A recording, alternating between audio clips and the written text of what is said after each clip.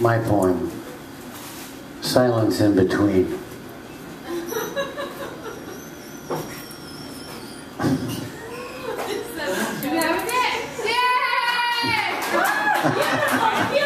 Oh, thank you.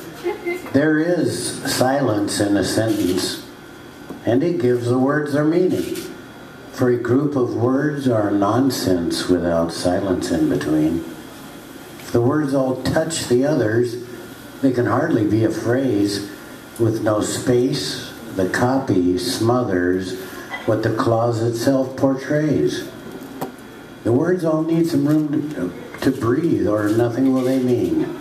The sword remains within the sheath when no space lies in between. Not just the space between each word, but space between each line. When the second runs into the third, we lose the lyrical design.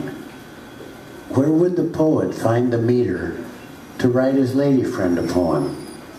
Without a space, he'd be a cheater and have to use a metronome. Come on, that's funny. A word is used to give a name to everything we see or do. As fire is to heat and flame, so silence is a grammar glue. Because silence keeps our words apart, yet it holds them tight, as in a spell. If a sentence had a heart, the blood of silence there would dwell.